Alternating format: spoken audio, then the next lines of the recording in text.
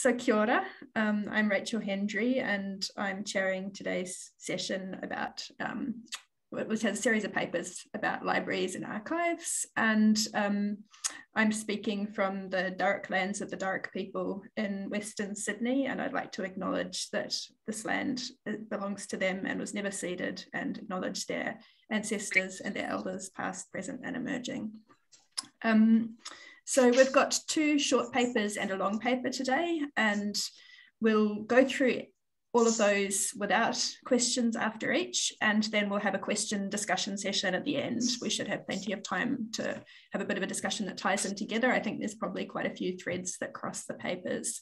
If you do have to leave after one of the earlier papers and aren't around for the discussion, but have a question or a comment that you would like other people to think about and hear about, feel free to put it in the chat and we'll I'll, I'll, I'll read that out um, in the question session anyway. Otherwise, um, please use the hands up symbol, uh, which you hopefully have now been able to find after a few sessions um, to indicate that you have a question and I'll call on people individually in that question time.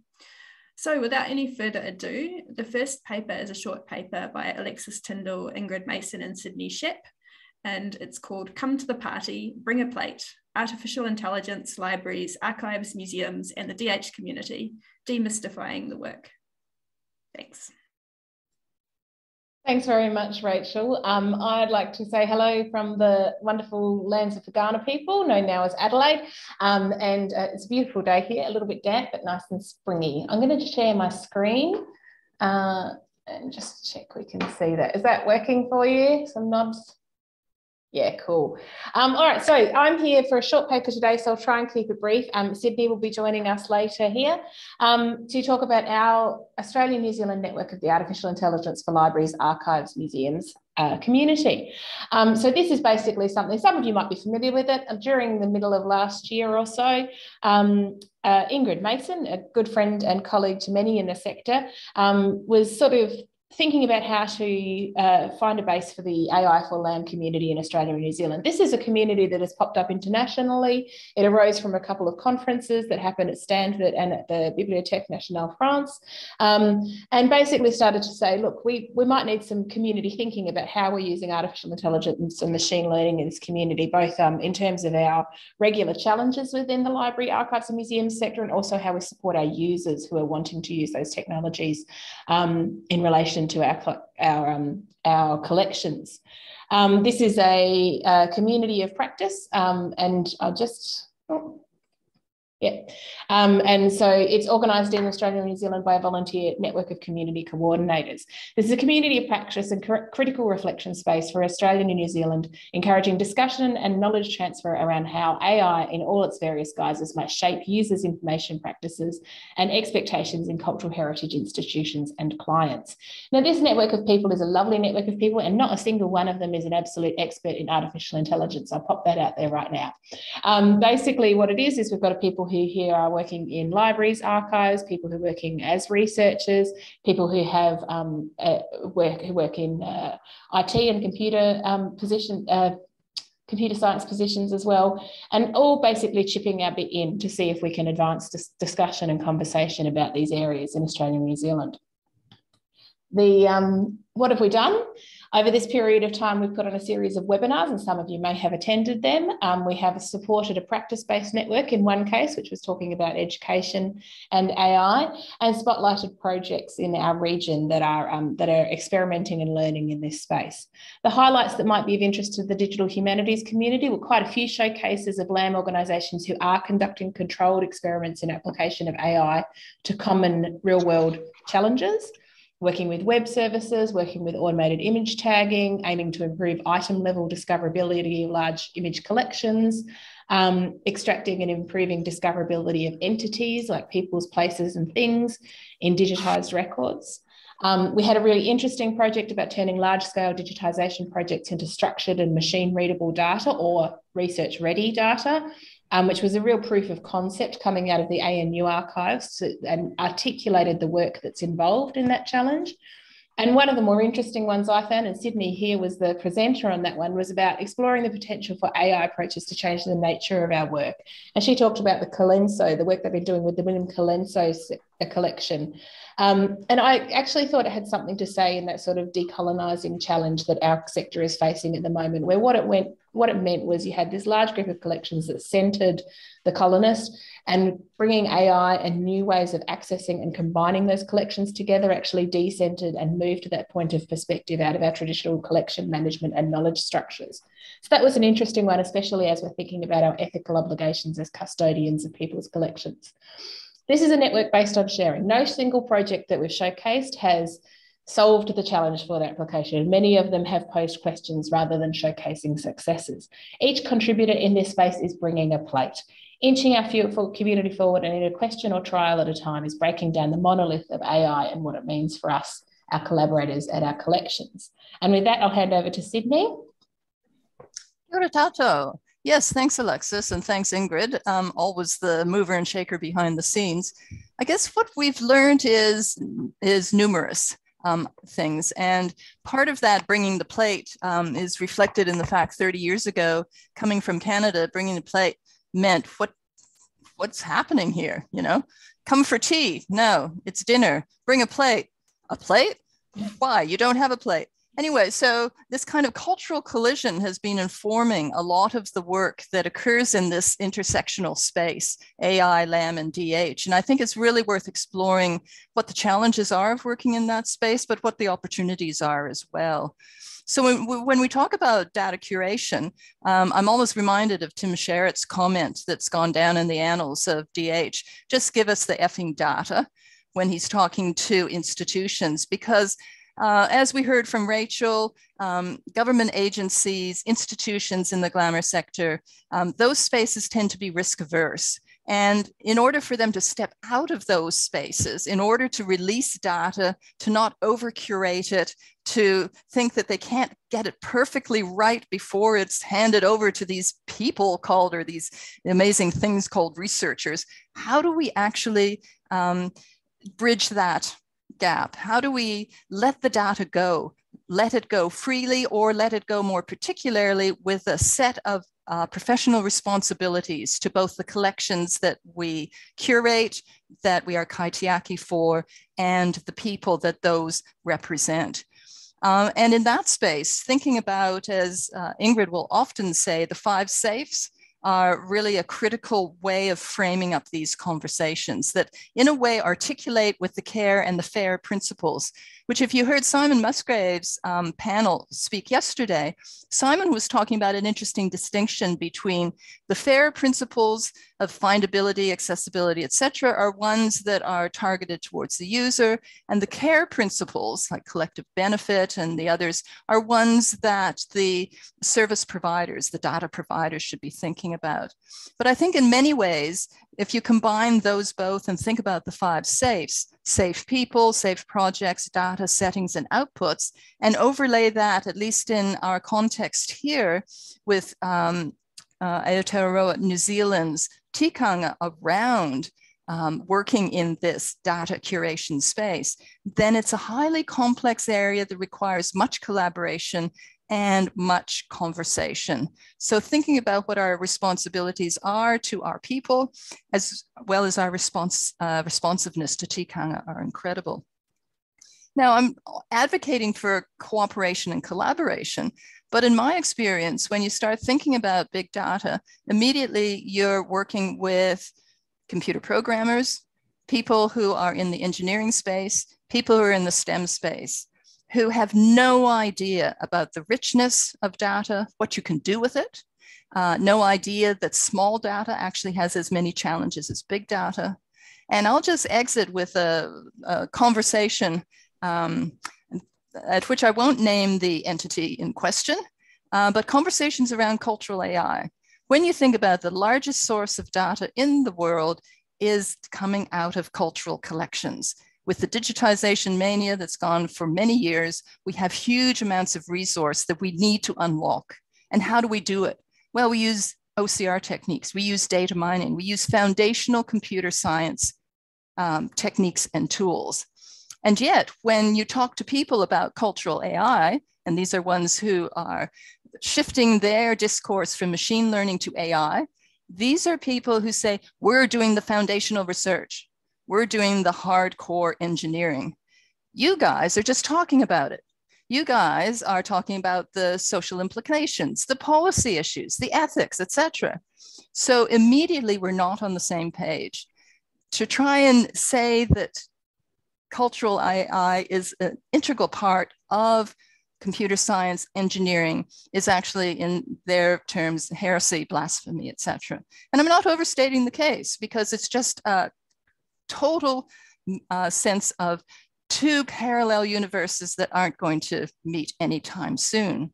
So when we're starting to think about the intersectionality of ai lam and dh let's think also about those people that we're bringing into the space but how are we are being excluded from certain spaces where we need to be around the table? It's all very well to talk about stem to steam and wonderful alexander added another m at the end and i hope he talks about it through the conference adding mātauranga into the space but what does it mean to actually sit around the table with our STEM colleagues, to be around the table for policy decisions and funding decisions? And with that, I'll turn back to Alexis. Thanks very much, Sydney. Some really good food for thought there. It's a short paper, so I'm just actually going to wind us up. Um, just saying, basically, what do we, what, how do we, what we're interested in talking about is how um, the LAM sector and how DH professionals work together. Can we think about new ways, new and collaborative approaches to research, research development and ideation? I think that's a space where we've got a lot of potential to work. And how do we think about the information professional, data scientist, and humanities scholar collaboration? And that's a couple of that we actually saw in Rachel's keynote talk as well. Um, so just at the bottom, if you want to get involved, there's a AI for LAM website. You can join the mailing list on there. They have a Slack uh, Slack workspace with an AUNZ channel. Um, and there, we are fast approaching the Future Fantastique, excuse my uh, accent, conference on the 9th and 10th of December. This will be a hybrid conference. Notably, there is one workshop on the program that's in the AUNZ time zone suitable. And all of our past webinars are recorded and available on the University of Adelaide YouTube page. And I'll share all those links in the chat. Thanks very much. Thank you very much, Alexis and Sydney and Ingrid. That was a fantastic paper. So the next one that we have is Lisa Chisholm, Judy Fisher, and Alexander Ritchie talking about open ours, librarians, yakking and hacking community in Te Pokapū, Otago. Well, thank you. We'll just okay. share our screen. No, well, I'll get started. Tēnā koutou katoa. Hi, everybody. Um, And we have Lisa Chisholm um, and also Alexander Ritchie here on Zoom. And we're all subject librarians from the University of Otago in Otepoti, Dunedin, South Island, New Zealand. Uh, Lisa and I are going to talk about the evolution of a collaborative digital humanities program involving the Division of Humanities and the library. And we have Alexander as a key part of the project. He was responsible for naming our presentation and he's given our mihi on chat and will be available to answer questions at the end.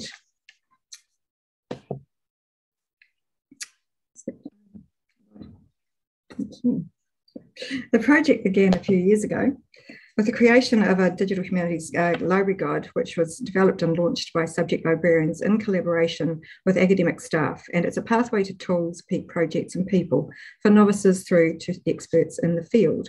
Then subject librarians were invited to participate in the inaugural digital humanities um, 2016 Expo, which where we presented or they presented on the Marsden digitisation project of Reverend Samuel Marsden's uh, journals and manuscripts in collaboration with the Hocken Library in Dunedin.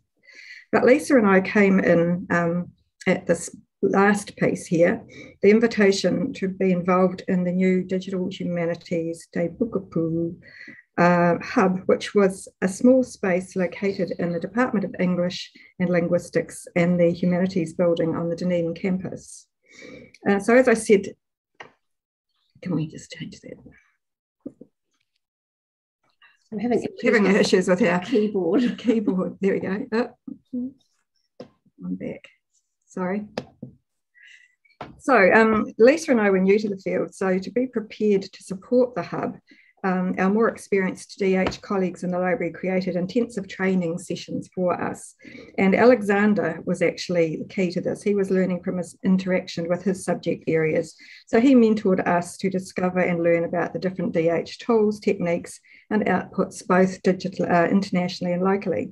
I think we got quite excited about the potential of digital humanities when we were learning about it and the projects that were actually happening at Otago and they were inspiring, especially the PhD research that was happening.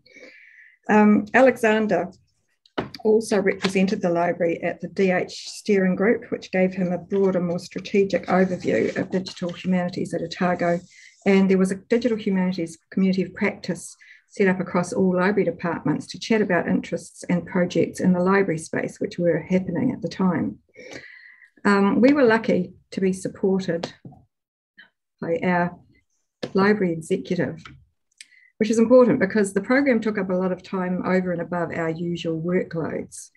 Um, so the, the project involved interested academic and professional staff and postgrad students from classics, English, linguistics, media, film and communication, religious studies, archaeology, and computer science. It was a 10 month program, program pre COVID um, the idea that was that as we as librarians have connections across a variety of subject areas, and we bring together interested people, both academic and professional staff and students, to chat and collaborate about all things DH.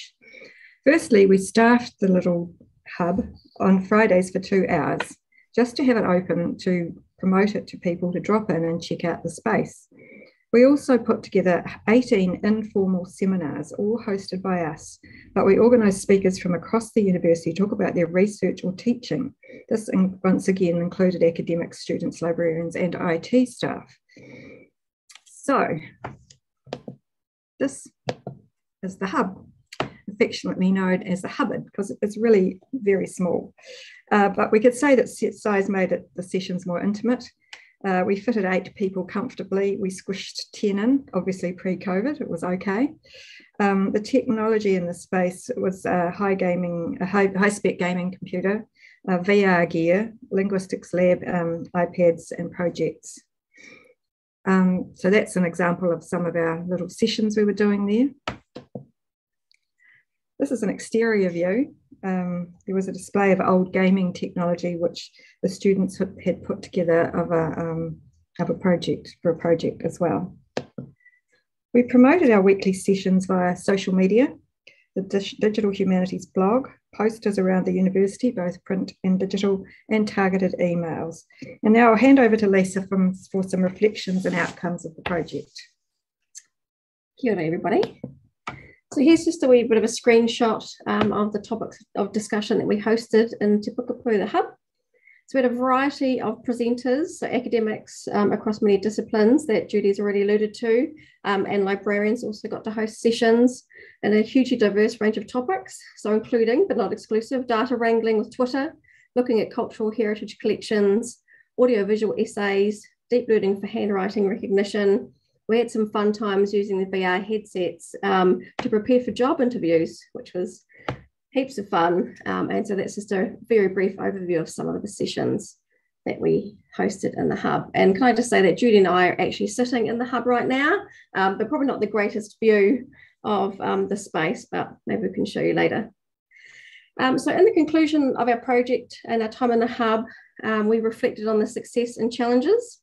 So the successes first, we think we had a really good turnout of attendees um, with all of our seminars. Again, given the, the small space, we squeezed people in. So we had both library and general staff, academics of students um, from within the humanities, but also from computer science backgrounds. So the seminars were a really great way of showcasing the current digital humanities research and teaching being undertaken at Otago. And it enabled valuable cross-disciplinary conversations and relationship building between staff and students who wouldn't normally cross paths.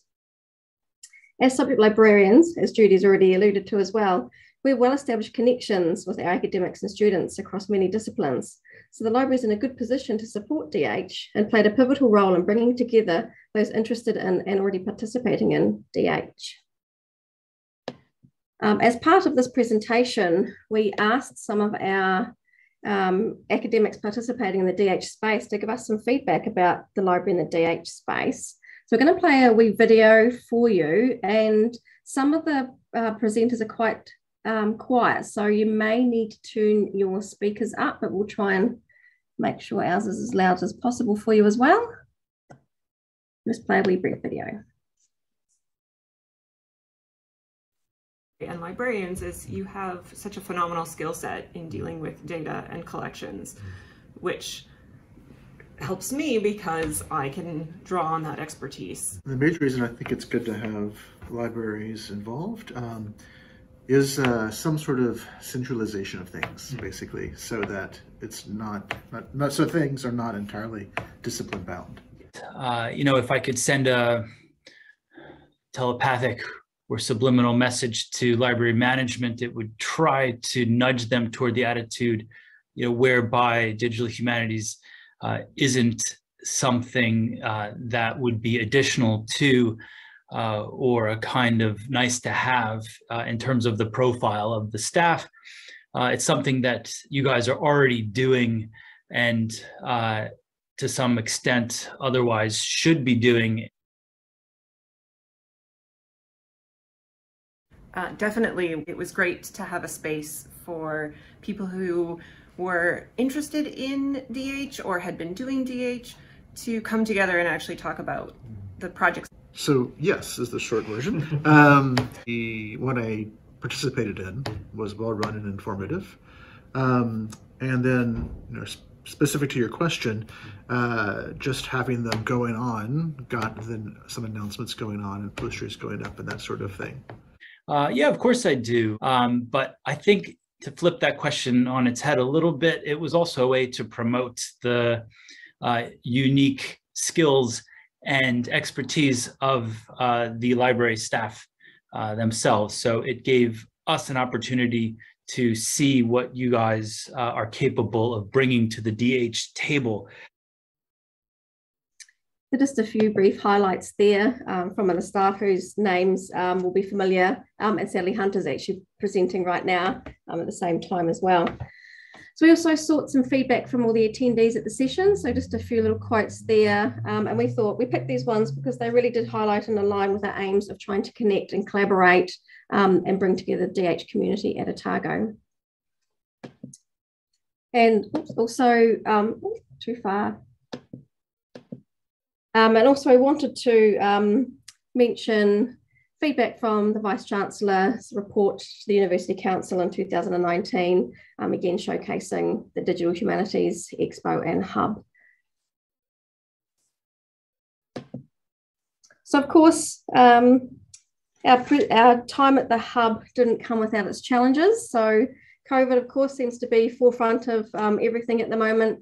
So we had to pause our seminar series um, because of COVID, not least of which the hub was very tiny and we couldn't actually fit people in in a socially distanced manner. So we had to pause um, our seminar series.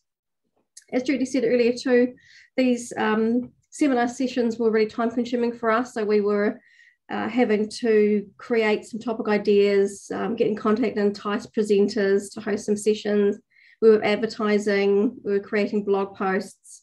Um, so that was on top of our business as usual work. So as much as we really enjoyed doing it, being part of the community, um, it was a little bit time consuming.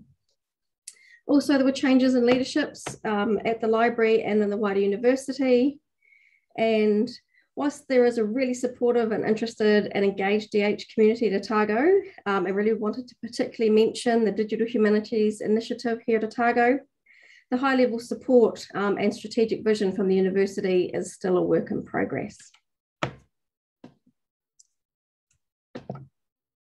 So DH in the library continued, um, even though their seminar series paused, uh, we carried on supporting DH as much as we could. In 2021, um, subject librarians, Alexander Ritchie, our colleague, one of them, and Kate, who will be presenting uh, later in the week, are involved in the launch of the first undergraduate DH paper taught at Otago. The hub doubled in its size. So we um, managed to fit some more um, seating in. So we're hoping that next year we'll be able to have some more attendees um, and more space to utilise the VR. Um, it is still being utilised um, extensively by students. So there's um, undergraduate teaching. So the English and Linguistics Department, Media and Film are still using this as part of their undergraduate teaching. We're using it as a consultation space and there's a literary games group um, and Callum and Jacob are also presenting at the conference. So the hub is being used um, as much as possible. And we're also in the process of redeveloping our library digital humanities guide to feature new projects, tools, and people at Otago and the wider DH community. So the future of DH in the library, um, we're really eager to reinvigorate the seminar series for 2022 and get back into this hub space and working with our working within the DH community at Otago. And we're also really keen to collaborate with our GLAM sector colleagues um, not just at Otago and Otepoti, but also around New Zealand. And given some of the sessions we've attended recently, um, perhaps looking at some collaborations even internationally. So that is a really brief overview of our project, um, Te Pokapū, the Hub. Uh, thank you very much, Namihi, and we'll pass it over to the next group. Thanks very much. That was really interesting to hear all about everything you've been up to. So uh, last paper for this session is the long paper, and that's Sarah Johnston talking about resurfacing archival sound and humanities research, the recordings of the New Zealand World War II mobile broadcasting units. Thanks, Sarah.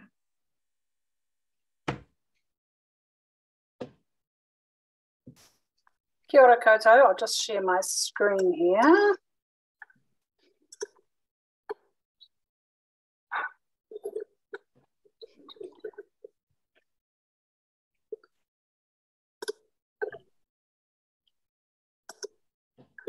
Sorry.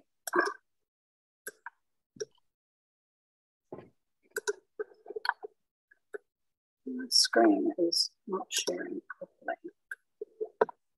Right. Ta-da. Um, tēnā koutou katoa. So, um, ko Sarah Johnston toko ingoa, no Ngāti Rakai Pāka, Ngāti Kahungunu, Ngāti Pakeha, Oku Tipuna, uh, ko tahi tōku kāinga. Uh, ko tēnei taku mihi ki ngā tangata whenua o te rohe nei, nai tua huriri, Ngāi Tahu, tēnei te mihi ki a.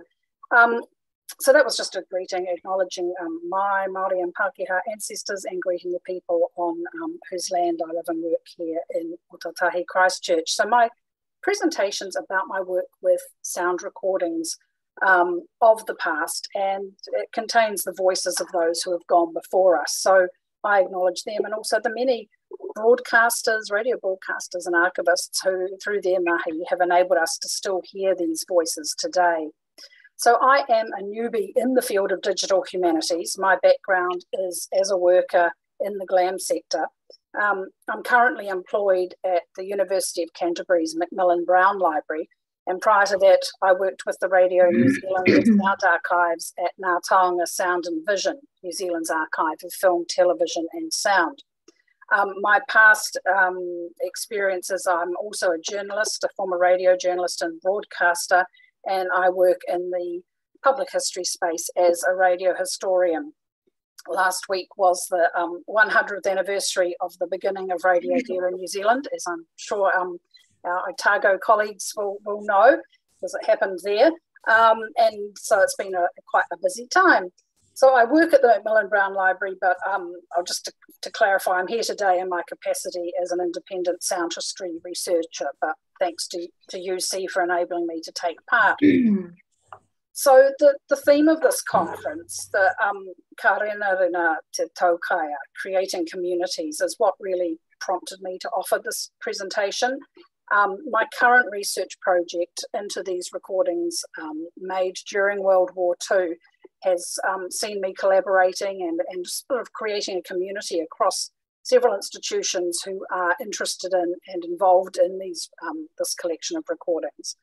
And my past experience as a sound archivist meant engaging with diverse communities to enable them to access and engage with their sound past, whether iwi Māori, academic researchers, creative and artistic practitioners, um, producers, media, or heritage and cultural institutions. so I'm going to talk about my current research project and um, collaboration with institutional communities around it. And then I'd like to talk a bit more generally about um, archival sound, um, particularly broadcast, so radio um, archives, as a resource for digital humanities research and um, my experience working in the, in the public history and public humanities space, resurfacing this material.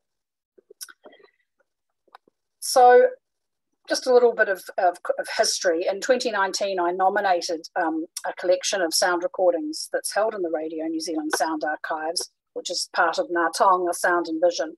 I nominated it for inclusion in the UNESCO Aotearoa Memory of the World Register. Um, the collection was recognised by UNESCO as, as being a significant, a piece of significant documentary heritage, and it was added to the register. And this is just a screenshot of the um, the, the entry of this collection in the um, Aotearoa Memory of the World website. So these are recordings made during World War II between 1940 and 1945 by the New Zealand Broadcasting Service mobile units. And they travelled overseas with New Zealand's troops uh, in North Africa, through the Middle East, through Italy and the Pacific, making recordings which were um, for broadcast on radio back home. They were recorded, um, the recording medium of the time was um, disc. This was before the era of magnetic tape recording. And so these are, if you imagine a vinyl LP um, and go out a bit, they're a bit broader, um, and they are made of a nitrocellulose lacquer over an aluminium base. So they're a bit more rigid than a vinyl LP, but the principle is the same. Um, this year, I was fortunate to receive funding from the Judith Binney Trust and the New Zealand History Research Fund to do some work on the history of these recordings, their contents, um, the contexts in which they were recorded, broadcast, and how they were heard and received by radio audiences back in New Zealand, which is something I'm really interested in. And as part of my work, I'm also um, enhancing the existing descriptions of the contents of these recordings to try and make them more discoverable, and um, also verifying the names and identities of the hundreds of um, New Zealanders whose voices are heard on them.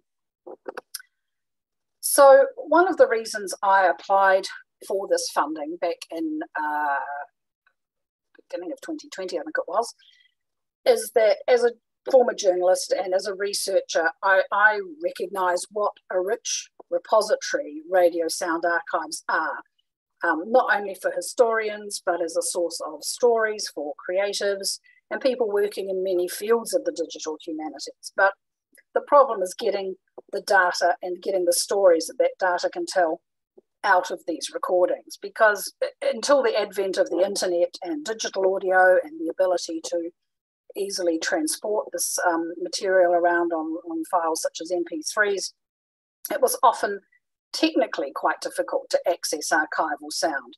You had to pay for copies to be made on cassettes or dubbed onto CDs later. And also due to the, um, the nature of archival sound recordings, their contents are often quite opaque to researchers. Um, when, when you look at a recording, it doesn't really give up very much information. There might be a little bit of metadata on the, the label of the disc, but that's about it. So unless they've been transcribed, which is very rare due to the resourcing that it takes for sound recordings to, to be transcribed, um, this collection is often, well, hasn't often been used by researchers. For example, here we have material recorded in the conflict zones of World War II with New Zealanders, and yet it's very rarely been used by New Zealand military historians, and, and that is for some of those reasons, I believe. So, a brief history of, of how this collection came to be.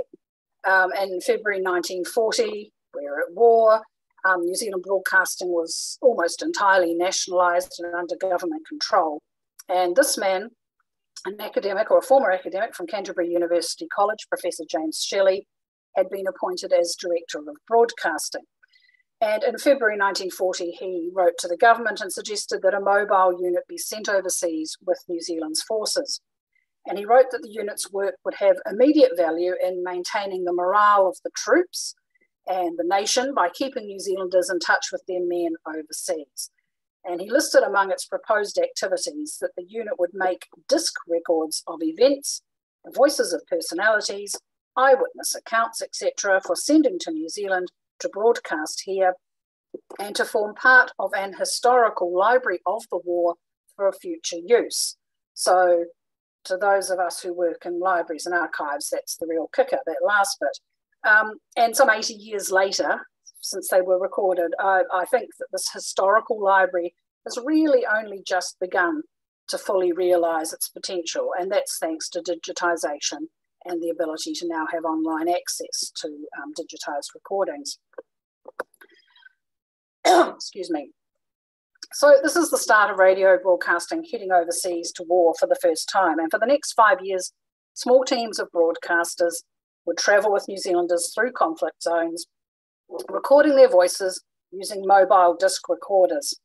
Using these portable recorders meant that the radio's microphones could start recording outside of the studio.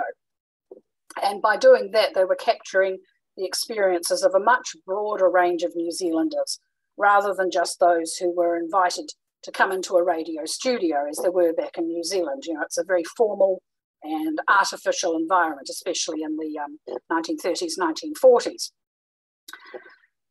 So this is the um, the first of the small teams that headed overseas, um, and this is um, these three men here were all employees of the broadcasting service. Although once they um, arrived, they were pretty much what we would call today embedded in the military. They were still paid by the broadcasting service, but they were given military rank and they were subject to uh, military control and censorship. Um, so this is a brief excerpt of one of their first recordings. This is um, Doug Laurenson, who was an announcer. He's the chap with the pipe there. Um, and he's describing the thousands of men arriving on the Wellington docks by train and boarding the troop ships. This is in Wellington in August 1940. The third echelon of the uh, New Zealand Expeditionary Force is about to set sail with these guys part of it. So he, the full recording is about 30 minutes long, and he paints a very vivid description, a sound picture, if you like, of what he can see. But it's the background sound that I particularly find powerful about this recording. It really um, transports you to wartime New Zealand. Troops already on board are lining the rails and are cheering their friends as they embark on our ship or the one opposite. Let's switch over to our deck microphone for a moment and listen to them greeting a train which arrives for our other transport.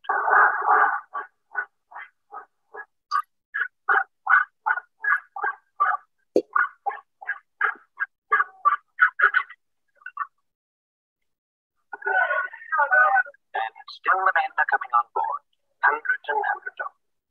All along the wharf, they're lined up awaiting their turn. Um, men are embarking at the rate of 10 to 20 a minute. Race trains continually bring more troops to take up the positions of the ones who already are on their ship's company. It's certainly a great sight to see an echelon preparing to embark for overseas. As they come up the gangway, and seeing them as they line decks, we've certainly got New Zealand answer to the call from the old country. This broadcasting unit of ours, by the way, will be attached to the New Zealand Expeditionary Force in the field. And in the days that lie ahead, we hope to be able to bring you news of your men wherever they may be stationed. So, over the next five years in which they were in action, the mobile unit broadcasters recorded interviews with, um, as I said, this broad cross section of New Zealand servicemen. I say servicemen, but there are actually a few women. There were a few nurses who managed to um, get in front of the microphone, um, but it is very much a, um, a masculine voice that comes through in these recordings. Um, and they talked um, about their role in the war. They were interviewed about the part that they were playing, and this wasn't necessarily by any means um, focused on military action. They made programs with um, guys who were working in an army bakery in Egypt making meat pies for the New Zealand forces. They talked to people who worked in the post office, making sure that, that the soldiers got their mail. Um, it was it was really quite a cross section. Mean, yes, they talked to General Bernard Freyberg, but they also talked to to these other guys as well. Um, this is Arch Curry holding the microphone in these two photos here. He was a Christchurch uh, radio announcer and he, he was quite a well-known voice already uh, when he went overseas and he became one of the best known voices of the mobile unit as heard um, back in New Zealand during the war. Um, so the, the type of material they produced falls roughly into these categories. Um, there were what we would call today a voice reports. These are sort of um, eyewitness accounts of, of military action, and these were often broadcast via the BBC, who would then relay them on shortwave back to New Zealand. These, these are the more time critical um, items. Then there's interviews and talks with people. There's recordings of events, so um, non, not necessarily military things, but concerts, entertainment, sporting events. There's rugby matches, of course, um, and social gatherings. And then there are the greetings and messages home, which became um, incredibly popular back in New Zealand, just really simple greetings from the soldiers themselves. So, as I said, um, a lot of the material in this collection I feel has not really been tapped yet to, to its full potential. But there is um, one example or one sub collection, I guess you could call it, which has been used in a really um, interesting and important project that I'd just like to talk about a little. Um, and this is the website created by um, New Zealand's Ministry for Culture and Heritage to recognise the contribution of the 2-8 Māori Battalion, which was New Zealand's most celebrated unit of the war. Um, starting in 2010, Dr. Monty Soutar and the Ministry for Culture and Heritage staff worked with the RNZ Sound Archives team to identify and digitise recordings made by the mobile units with men of the Māori Battalion. These have been transcribed in many cases on the, on the website. Um, often they've been translated and they uh, the audio has been uploaded. So it's a really great resource for um, students and for, for whānau, for descendants of these men. It's a great example of resurfacing archival sound recordings, recontextualizing them, and presenting them to new digital audiences some 80 years after they were recorded. Um, many of the men in the Maori battalion were first language speakers of Te Reo Māori, so their kōrero and waiata, their, um, their speech and songs are a really valuable resource in the ongoing effort to revitalise Te Reo Māori. So just a couple of examples of um, audio which is recorded by the mobile unit and is available on this, this website, just to illustrate this. Um, the first is a report by the mobile unit's commentator, Arch Curry, who we saw just in those photos earlier. And this is a report um, that he filed via the BBC in June 1943 to tell New Zealand that a Victoria Cross had been awarded posthumously to a soldier of the Māori battalion, Te Moana Ngarimu. Um, it was for action in which he died fighting in Tunisia earlier that year. So this was the first Victoria Cross awarded to a Māori soldier. And the fact that he died achieving it made it an incredibly um, significant and poignant event um, for New Zealand, but especially for Te Iwi Māori. So because this was a major news item, the report was sent from the mobile unit in Egypt to the BBC in London via radio telephone. Um, they then recorded it on disc in London and then rebroadcast it via shortwave to New Zealand, where it was again recorded and then rebroadcast for um, the, the domestic radio audience. So this recording is actually of the BBC broadcast from London. So what we hear first is the BBC announcer, who incidentally was a New Zealander, uh, she's a woman named Noni Wright, who, who worked for the BBC during the war. And then we hear the start of Arch Curry's report filed from Cairo. Um, because it was filed via shortwave, the audio quality is pretty dire, so I'm just going to play the start of this. This is London Garden in the Pacific. And here is the dispatch sent through from Cairo by radio telephone yesterday in connection with the Victoria Cross which has just been awarded to a Maori soldier of the New Zealand Division for the mismatch, list describing the action. The United States was more than The American people, the subtime, to Nike Parade, the one for the first time the highest minute of and the sense of the Maori people as the Victoria Cross, first battalion. So that um, Arch Curry files his report, which goes on for about another three minutes.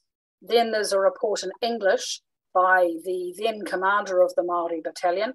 And then we hear um, Inter Maori from this man. This is um, a page from the Maori battalion website, just a screenshot of that. And this is Captain Peter Awatere, who was um, um, Te Moana Nui Akiwa Ngarimu's unit commander at the time. And he addresses the Maori people in Te Reo Maori. Uh, and again, this was recorded by the mobile unit. Um, so this is his the start of his address. He's using um, formal traditional methods of addressing the tribes of New Zealand who would have been listening in to this um, historic broadcast.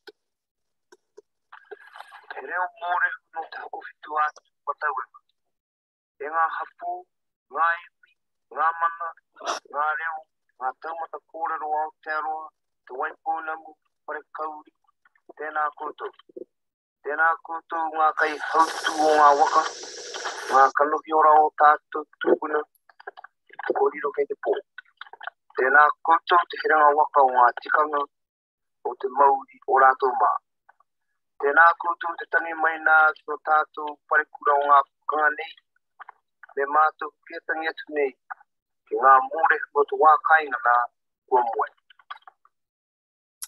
So by resurfacing this sort of powerful historic radio broadcast and presenting it to a digital audience, the Māori Battalion website ensures that these stories can live on and that the descendants of these men, men can not only hear their ancestors but can learn their stories.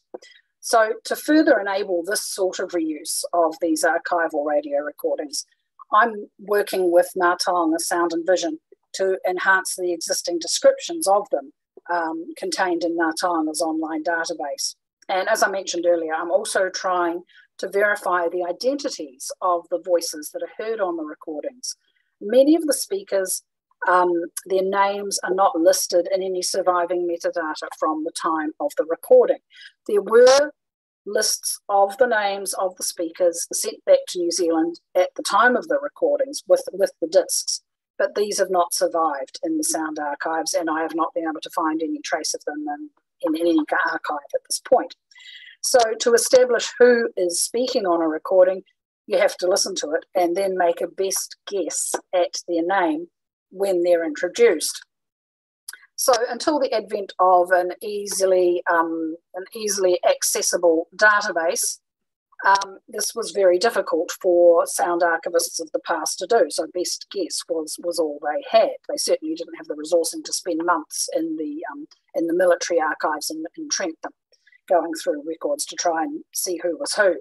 But um, I'm using um, or working with Auckland War Memorial Museum's online cenotaph database which has used enlistment records and crowdsourced contributions to populate this database of all the men and women who've served in New Zealand's armed forces. And that's from the colonial land wars right through to Afghanistan. So, to give you um, an example of how this sort of process works, um, here is one of the mobile unit's um, very early recordings once they got to Egypt.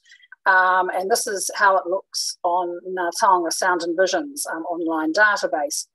So this is a greeting recorded from a man who was in Maadi camp in December 1940. Um, the, the, title of it is just the is what existed on the disc label. It was a greeting from Egypt from someone called Tom Carroll, and it was digitized and uploaded to Ngā Taonga's web database. So we'll just have a listen to this. And this is a very typical um, greeting um, actually, it's a bit longer. It's a minute 14, whereas most of them are, are, much shorter. But let's just have a listen to Tom Carroll from 1940. Hello, everybody. This time in the Truth Request section, we've got Tom Carroll, and he's calling 18 Telford Avenue, Balmoral, in Auckland. Hello, Win and Dad and Mum and all at home, and Jim and Rosaline and Rich and Bobby too. I hope you are all in as good of health and spirits as I am right now. I'm just starting out for a little leave in Cairo. Have a good time, everybody, just like I'm having here.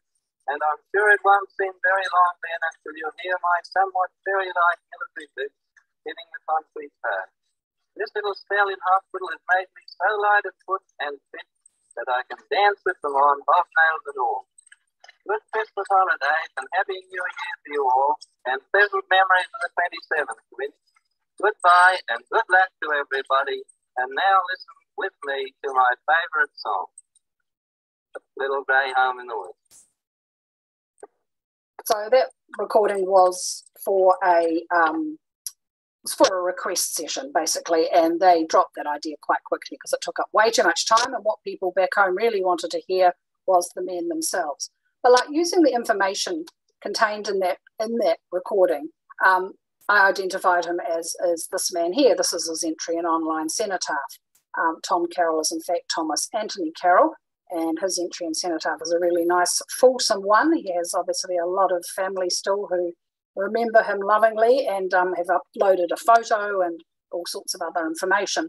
Um, his recording was really helpful in that it actually gave his full address. Was 18 Telford Avenue, Balmoral, and very happily, there it is as his enlistment address on Cenotaph. Sadly, that practice didn't continue, and most of the um, speakers in the mobile unit just give their name and a location. So they're calling Christchurch, they're calling um, Portobello, they're calling, it's usually just a location, not necessarily a city, often it's a suburb if they're from a city.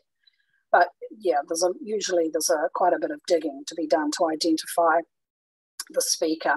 But um, once we are able to identify them, if you well, now when you scroll to the bottom of Tom Carroll's entry on Cenotaph, there's a link there so you can click through to Ngā Taonga and hear him speak. And um, what the online Cenotaph team are doing is they've created a data set of all the men and women who have entries on Cenotaph and whose voices I have identified so far in the mobile unit discs. So eventually, in the fullness of time, you'll be able to click through from each veteran's page in online Cenotaph to hear their digitised recording uploaded onto Ngā Taonga Sound and Visions catalogue. But there are hundreds, if not thousands, of recordings like this in this collection. So it's going to be a long process. But this work will not only improve discoverability and access for researchers, but it will enhance the ability of descendants to discover and hear the voices of their ancestors. So that is um, what I am working on currently, but I'd also like to talk a little bit more broadly just about the potential of um, the RNZ Sound Archives as a, as a source of research material um, for digital humanities communities. So um, many of you may be familiar with um, these projects. This is the, um, the work of the linguistics team at the University of Canterbury, who are really pioneers in using the sound archives for um, something besides radio programs. They use the oral history recordings made by the New Zealand Broadcasting Service, which was the, the forerunner of Radio New Zealand, um, made just after the war, 1946, 1948, using the same technology as the wartime mobile units. Um, they travelled around the country in a truck and made recordings with elderly speakers, and these were people who were already in their 80s, often by in 19 in the 1940s. There were people who were born as far back as the 1860s, 1850s, and this formed a corpus that the um, the origins of New Zealand English project and the um, MAONZE study of changing pronunciation of Te Reo Māori could use. And, and these projects began back in 2004 and are still ongoing. Um, there are countless other bodies of recordings in the radio archives that could form the basis for deeper humanities research. Um, I'm quite excited by the um, potential of speech to text transcription software, which is advancing rapidly. Um, the, uh, the team up at Te Hiku Media in Northland have been working with um, speech to text recognition of Te Reo Māori, and I would love to see some researchers doing a, a deeper dive into the Ngā Taonga Korero archive. This is an archive within the Radio New Zealand sound archives. It's of the Maori radio programs that um, the broadcasting service created between 19 from, from the 1960s up until the 19 late 1980s, early 1990s, uh, before the iwi radio network really got going. The iwi radio stations really started to take over the role of, of broadcasting to Maori audiences. But before that, there's a good 30 years of, of Māori radio material just waiting to be tapped into. It's all been digitized. Um, it can be accessed online and it's just there for analysis, whether that's historical, social, linguistic. You know, I'd love to see someone getting involved in that. Um, and just, I'd like to talk briefly about um, the, the creative humanities. Um, so artists and producers use archival sound recordings in, in a lot of projects. I mean, obviously radio programs is, is the natural one, but also um, any kind of film projects they're used and also in um, the sonic arts. So this is um, a work from 2015 by Dugal McKinnon of Victoria University. Um, this is just a video of his um, installation called Lost Oscillations, which um, he created for a, for a festival here in Christchurch of a Sonic Arts Festival. And it he created a, basically a, a stylized map of inner city Christchurch and populated it with archival radio um, sound recordings, which had been made in locations that had been either destroyed or irrevocably changed by the 2010 2011 earthquake sequences. So you hear the bells of the ruined cathedral, you hear um, protests against the 1981 Springbok rugby tour. There's a concert in a theatre that was demolished. There's the sounds of the royal visit of 1954 in the streets of Christchurch. And all of these can be played and mixed by um, people interacting with this installation, putting their fingers on the touchpads on the map. And he installed it um, quite poignantly in one of the the many countless gravel patches which marked the site of a former building in Christchurch, and these gravel patches made up much of our um, city's central business district for many years, and there's still a few of them with us today. So um, I'll just play this. Um, it starts with a lot of static, so don't worry if it sounds terrible to start with.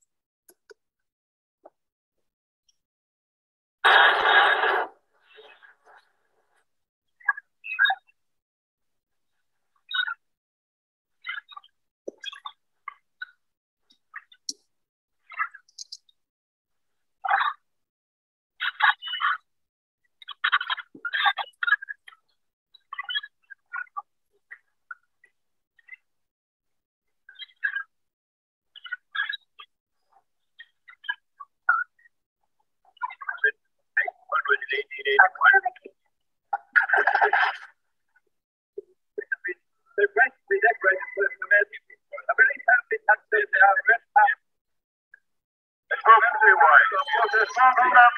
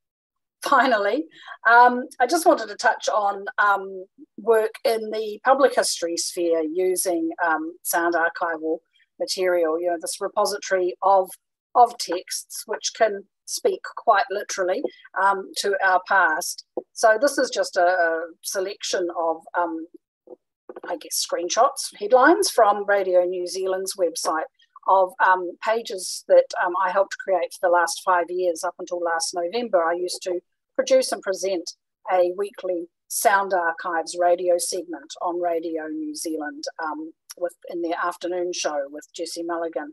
And I would curate archival sound recordings around a topic, sometimes an anniversary, sometimes just something that was in the news, sometimes just something awesome that I had found in the archives and thought people needed to hear. And um, just presented those with with context and usually with um, some online images and yeah, contextualize, resurface archival sound recordings. So that is um, pretty much the end of my presentation. So I guess if um, we return now and um, have, it, have at us with questions. Thank you for listening. Thank you very much. So just as a reminder to people who may have come in late, we're doing questions and discussion based on all three papers at this point. So if you had thoughts from earlier, feel free to, um, to bring those up now as well, as well as asking questions or bringing up things relating to this last, most recent paper. Um, I'm just checking the comments. I don't think anybody left any questions in the comments. Um, so we'll go with putting your hands up in the in the participant list using the hands up emoji. So I'm just looking now to see if anybody already has a hand up. I don't see, don't see anyone. They're all stunned by the, the brilliance of these presentations into silence. Oh, here we go. Now we do have, we have one from Alexis. If, if the audience don't want to ask a question, can. uh, I was just thinking about the Digi Hub. Um, I was wondering uh, if you might have shared it in your presentation, Okay, Sorry if I missed it, but can you characterize the kind of people who came along to your seminar series? Were you what was the mix of undergraduate students, higher degree students, staff, like, and and, and do you have a perception or uh, and, and do you know what they were looking for in coming along to these seminars?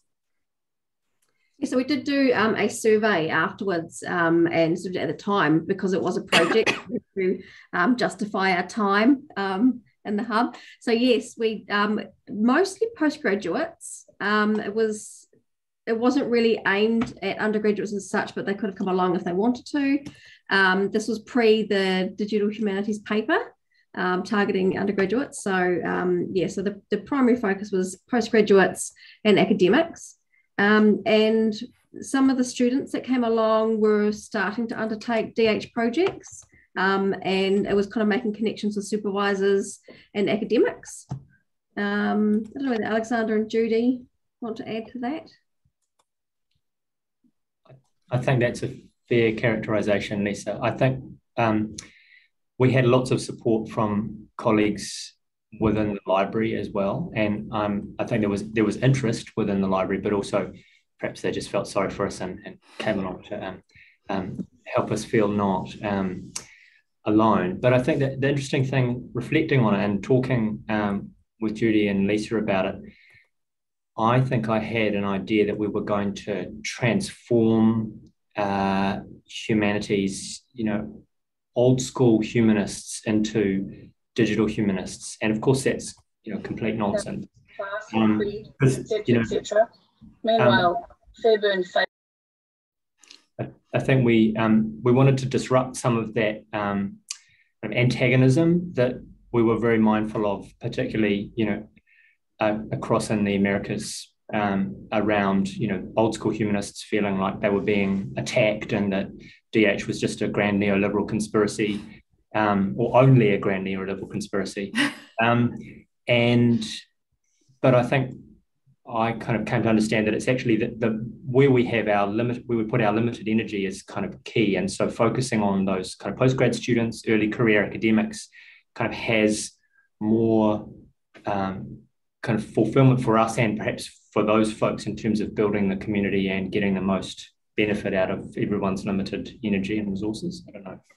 Um, yeah, whether that's helpful or actually answers your question. We also got some staff who were um, not necessarily in the DH space, but kind of on the cusp of it and had other um, initiatives that they were working on um, as well. So not necessarily completely in the digital humanities space, but like interested in where it was going to go.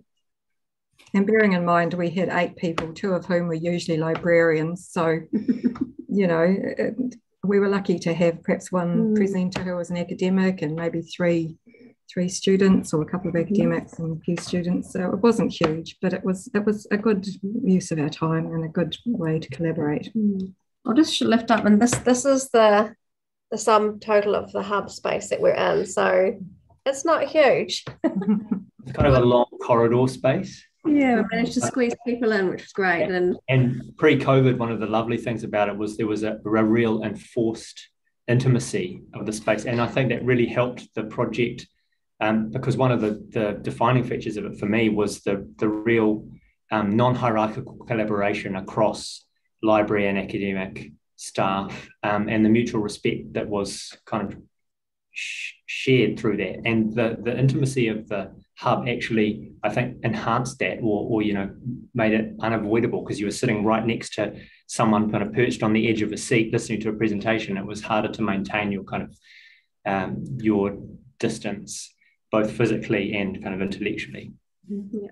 And i think for um, for me personally being a newbie into the dh world I had a little bit of imposter syndrome going on and thinking why why am I here? Why is the library here? And then I think you know as Alexander said we're sitting so close to academics and being involved with all these talks and hosting them and enticing them in that it was actually really great training um, and upskilling for us. So I have a question of my own actually that, that kind of I, I think it relates to this one a little bit but it's more for the first um, paper and that's that there, there seems to be a bit of an issue in DH and GLAM spaces that the more and more technical you go, so with AI being one of those extremely technical areas, um, the less diverse the community seems to become. Um, partly due to historical reasons, socialization reasons. We, we all know the reasons, but um, I think to some extent we're doing a lot better on the gender front now in these sort of hardcore technological areas, but in terms of race, not so much. Um, and I'm just wondering if people who've who've been working in this this AI glam space, and also to some extent working on initiatives to try to bring dig the digital into humanities areas, which which maybe haven't yet embraced them, have found things that that work to diversify it or whether this is something you're grappling with, whether you have ideas. I, would love to share some of those or hear, hear about some of those. Because I think there is this, this, this risk that, that the, the hardcore techie coding parts of DH become this, this very white space, um, more so than some of the other areas. It's a really good and real question, Rachel. Um, I my experience is a little bit different in that I feel that the intersection of humanities and the glam sector are places that are particularly homogenous culturally. Mm. Um, and yeah, that's like like you said. There's uh, people have done papers about that. The the the, the reasons that certain people go into certain um, paths. Um, some of the um, in my it, yeah I, it's a really hard question to answer actually. Um, i think that the um, it's wearing the ai for LAM hat i think there's people in our community who are interested in the complexity of the collections that we have um, even if they're not acting on behalf of their own community but recognizing the diversity of the space that we're working in. And there's an intersection between the interest in data curation and um, and making material available and the emerging field of sort of critical librarianship as well, which is tackling some of those things and looking at structural problems with how we organize knowledge in these sorts of institutions. And that conflict between in order to make something computationally useful it needs to be organized in a way and the frameworks with which we organize those things are deeply rooted in a legacy that um, perpetuates a certain kind of culture in our environments. And so that's definitely a matter of discussion in terms of participants it's a hard one I would actually say, if I can just and totally anecdotally um, say, my experience wearing my University of Adelaide Library hat when we've been doing digital humanities activities here, um, there are um, people from um, from non-Anglo backgrounds coming in and participating in this program in some circumstances, but often they're the people that come in from outside the humanities. So they're people who come in. We've had forensic criminologists, we've had computer science, we've had um, people, oh, so people in the VR space as well. And so um, where it gets particularly not diverse is the purest film of the humanities sort of side of things. And it's where those interdisciplinary connections are sort of finding a space mm. that um, we see a few more sort of um, non yeah, different faces in the room, I, would say. If that, but that's total, I don't even have any numbers or it's just my, my feel for where we've gone with that experience. Um, Sydney, did you have anything to add to that? I guess two points, if I may. The first one is a plug for tomorrow's talk at 4 p.m. with my colleagues uh, Rere Noarangi Pope and Rhys Owen.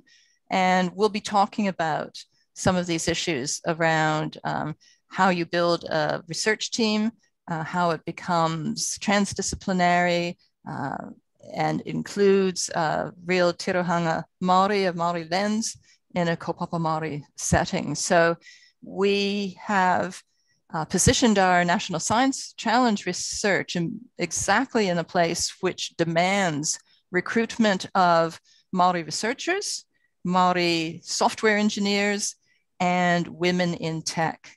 So that's a very uh, specific and strategic thing that we've done to um, facilitate addressing the problem that we're looking at. So we'll be talking a bit about that in our 10 minute wonder tomorrow. So join us if you want to hear more about that.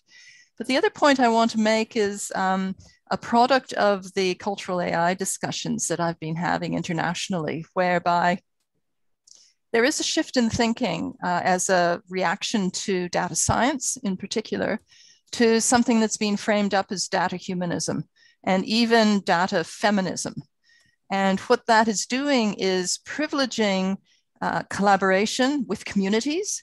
It's suggesting that um, if you don't have a real world problem that you're committed ethically to address, then you're just doing research on the back of other people and other people's data, and you have nothing to offer them in particular. Linda Tuhiwai Smith would characterize that as helicopter research you zip in, you zip out, you grab data, you do something with it. And the community that is disenfranchised and disempowered has no say in what you're doing with their data, no control over it, um, and no uh, opportunity to be part of the process. And um, Jer Thorpe is uh, in New York. He's an amazing data visualization creative.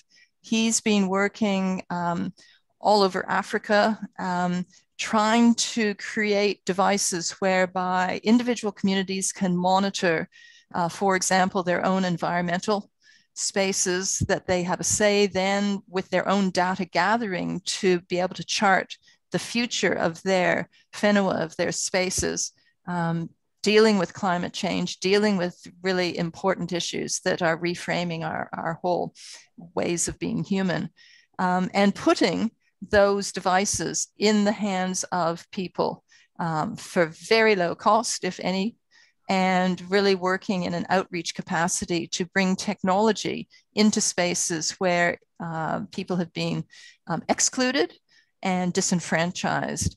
So that's a really important dimension of this data humanism movement. Um, and of course, you know, data feminism is a riff on that in a way, um, is, is another angle in the inclusive politics that are required for working in these spaces. And I have to admit that following on the work of um, Roopika Risam, that I think uh, Alexander is going to be talking about later in the week as well, uh, digital humanities have, have um, in the global north context, which has framed the field, been very good at uh, reflecting on their practices but only very recently understanding that they actually have to address issues of diversity, equality, and inclusion. And across the spectrum, I think that's something that um, many um, organizations, societies, and individual uh, researchers um, are becoming both aware of and needing to embed in their own practice. So just a few observations of uh, a couple of trends, but um, shout out to Alexander and his team and their talk and also for um, our team uh, later in the conference. Thanks, yeah, those are some really good thoughts. Um, I don't see any other hands up. Do other people have questions, comments, other directions they'd like to take this in, things they wanted to know more about? Oh, Sydney, yes. This is a quick one, and it's it's for Sarah, please. Um, in your description of the various roles of individuals in the mobile broadcasting unit, there was this one that was very evocative called the observer. And I'm wondering if you could unpack what that is, because we saw photographers, but what is the role of the observer and how is that factoring into your research?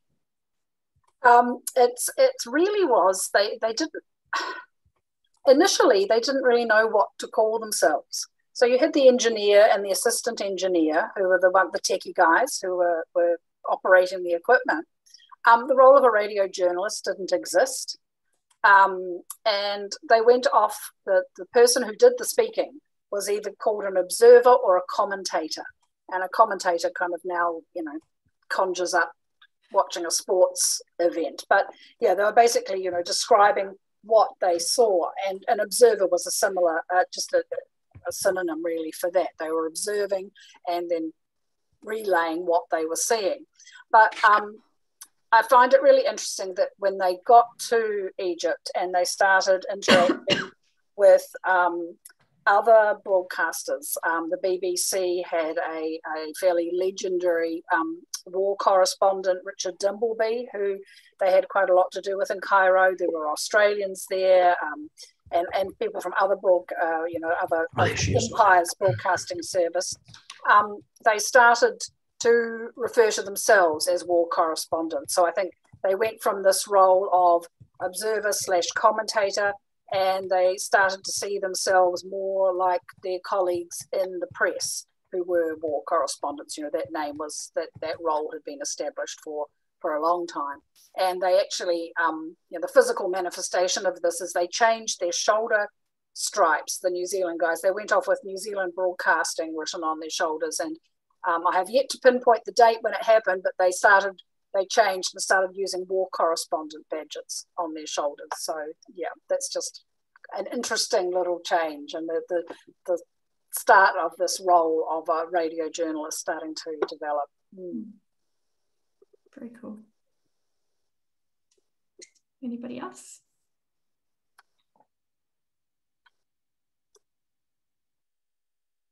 Well, maybe we would all appreciate a slightly longer break before the next panel. So um, thank you once again to all of our uh, speakers today. Those were really interesting talks and projects to learn about. And um, thanks for all of you who attended as well. See you in the next session.